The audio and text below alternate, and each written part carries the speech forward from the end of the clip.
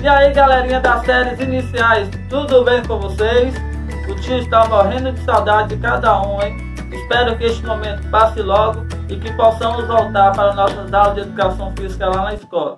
Mas enquanto isso, o tio vai passando para vocês aqui dicas de atividade para fazer em casa, hein? E a atividade de hoje é a brincadeira da mímica dos animais. Você vai fazer uma imitação de um animal para os seus pais e eles tentarão descobrir que animal é esse. Vamos ver se vocês são bons nas imitações. O tio vai imitar alguns animais para vocês. Claro que eu sei que não vai ser uma das melhores imitações, mas vamos lá. Puxe aí, um forte abraço e até a próxima aula, hein?